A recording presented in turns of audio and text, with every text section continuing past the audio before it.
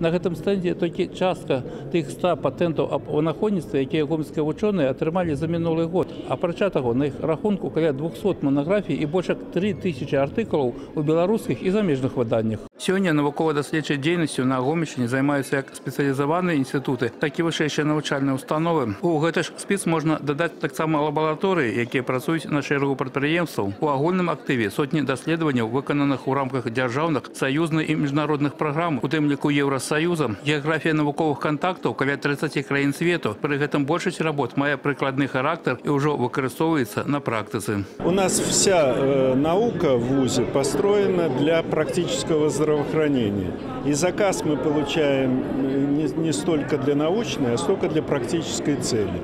Это у нас такие разработки идут, которые носят широкое применение в кардиологии, в кардиохирургии, работа с искусственными сосудами, со стволовыми клетками, работа в области травматологии. Разом з тым навукоўцы не ўтойваюць эфект ад іх дзейнасці мог бы быць больш значным, але для гэтага неабходна вырашыць некаторыя пытанні на дзяржаўным узроўні. Па-першае, стварэнне структур, якія б займаліся укараненнем распрацовак у вытворчасць.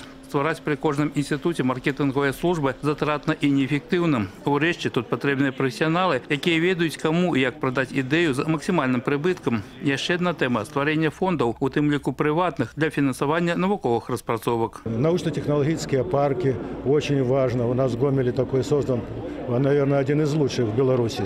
Но таких парков должно быть много.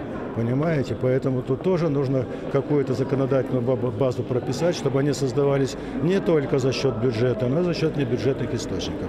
Ну а ученые э, свое дело э, знают. Мы слышали те установки, которые глава государства э, сказал на вручении дипломов докторов и аттестатов профессоров. Мы их воспринимаем как руководство э, к действию. Як кульмінацыя ўрачыстага сходу ўручэнне ўзнагарод навукоўцам, якія дасягнулі значных вынікаў, ганаровыя граматы абласнога і гарадскога выканаўчых камітэтаў і саветаў дэпутатаў, рэспубліканскага фонда фундаментальных даследаванняў, вышэйшай атэстацыйнай камісіі Нацыянальнай акадэміі навук, Гомельская вобласць здолела не толькі захаваць свой інтэлектуальны патэнцыял, але і на практыцы накіравала яго на павышэнне дабрабыту нацыі. Олег Сенцюроў, Валерый Гапанько, тэлерадыокампанія Гомель.